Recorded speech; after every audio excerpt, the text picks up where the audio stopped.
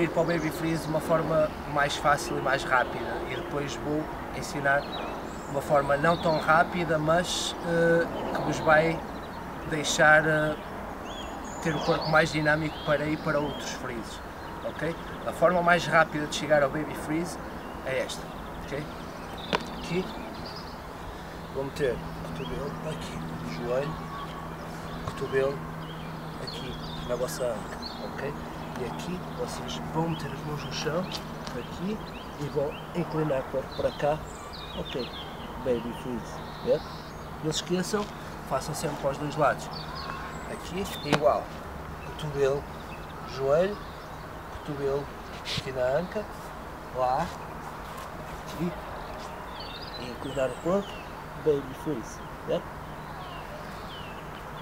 Ok. Agora, a outra forma vocês chegarem ao, ao Baby Freeze é esta. Aqui, a mão aqui, lá, aqui, este pé aqui, ok?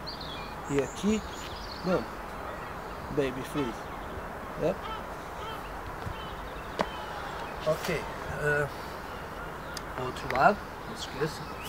Aqui, aqui a mão. Bom, yep. Ok. Isto é o simples Baby Freeze. Agora, vamos arranjar uma forma de ir para o Baby Freeze, não tão, tão seca, mas de uma forma mais dançável. Imaginem que vocês param aqui, pum, e querem ir para o Baby Freeze.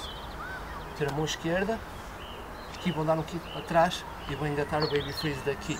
Aqui e bum! Yes? Back. Yes? Outro lado igual. Aqui, mão direita, um kick para cá e vou engatar o Baby Freeze. Bam! Bam! Yep. Baby free.